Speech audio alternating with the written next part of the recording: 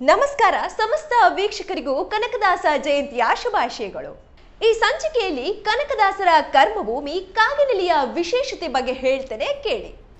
ಕನಕದಾಸರು, ಕರ್ನಾಟಕದಲ್ಲಿ ಹದಿನೈದು ಹದಿನಾರನೇ ಶತಮಾನದಲ್ಲಿ ಜನಪ್ರಿಯವಾದ ಭಕ್ತಿ ಪಂಥದ ಮುಖ್ಯ ಹರಿದಾಸರಲ್ಲಿ ಒಬ್ಬರು ಹುಟ್ಟಿದ್ದು ಸಾವಿರದ ನಾನ್ನೂರ ತೊಂಬತ್ತೈದು ಹಾವೇರಿ ಜಿಲ್ಲೆಯ ಬಾಡ ಗ್ರಾಮದಲ್ಲಿ ಕಾಗಿನೆಲೆ ಕನಕದಾಸರ ಕರ್ಮಭೂಮಿ. ಈ ಸ್ಥಳದ ಇತಿಹಾಸ ಹೇಳೋದಾದ್ರೆ ಪುರಾಣಗಳ ಪ್ರಕಾರ ಕಾಗಿನೆಲೆಯು ಎಂದಾಗಿತ್ತು. ಬಂಗಾರದ ಕಾಗೆಯೊಂದು ಇಲ್ಲಿನ ಗುಡ್ಡದಿಂದ ನೆಲ್ಲಿಕಾಯನ್ನ ಕಚ್ಚಿಕೊಂಡು ಬಂದು ತಿನ್ನುತ್ತಿತ್ತಂತೆ. ಹಾಗಾಗಿ ಕಾಗಿನೆಲೆ ಎಂಬ ಹೆಸರು ಬಂತು ಅಂತ ಇಲ್ಲಿನ ಜನ ನಂಬ್ತಾರೆ. ಇನ್ನು ಆ ಭೂಪ್ರದೇಶದ ಆರಾಧಿತ ದೇವರು ಲಕ್ಷ್ಮಿ ಮತ್ತು ನರಸಿಂಹ.